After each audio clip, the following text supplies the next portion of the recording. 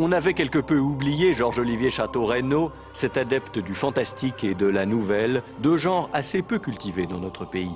Il revient au roman avec Le Château de Verre, publié chez Julliard, et ce n'est pas la moins ambitieuse de ses œuvres. Au XIIe siècle, Janon élève seul son fils Job, pauvre et nu sur les bords de la mer de Bretagne. Un ermite lui apprendra à lire. Déposant au pied de sa mère en pleurs son panier de coquillages, il choisira, en une scène magnifique, de suivre son grand-père sur les routes. Ensuite, il accompagnera au pays de Galles un musicien itinérant, puis parviendra à Paris, où il sera escolier. Il est mûr alors, pour se laisser entraîner par le grand Geoffrey Rudel, seigneur et troubadour du pays d'Oc. Toutes les aventures viendront à Job de Logona. Il ira à la croisade et surtout, il en reviendra tout pétri de violence et de souvenirs. Et quand sa route croisera celle de Chrétien de Troyes, le premier romancier de langue française, c'est comme à un avènement qu'il assistera.